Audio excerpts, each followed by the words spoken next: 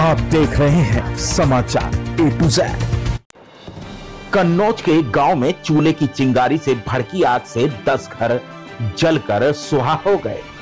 आग की चपेट में आने से छह मवेशियों की मौत हो गई और एक चार साल की बच्ची झुलस गई। एक घंटे बाद पहुँची फायर ब्रिगेड ने आग पर काबू पाया। कन्नौज के सदर कोतवाली क्षेत्र के हीरापुरवा गाँव का यह नज़ारा है। यहाँ के अनिल के मकान में सुबह चूल्हे की चिंगारी से आग भड़क गई। थोड़ी ही देर में आग ने विकराल रूप धारण कर लिया और तेज हवा के कारण आसपास के 10 घर आग की चपेट में आ गए। आग से गाय, भैंस सहित छह मवेशियों की मौत हो गई। राम सेवक सुधीर फूलमती, संदीप रामतीर्थ और संतोष की पूरी गृहस्थी आग में जलकर नष्ट हो गई।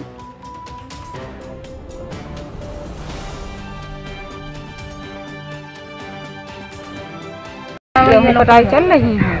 तो गेहूँ काटन गए है ना बस हम लोग आई तरह देखें कि आग लग रही जौन पावा तो उठाए नहीं तो सब जल गया।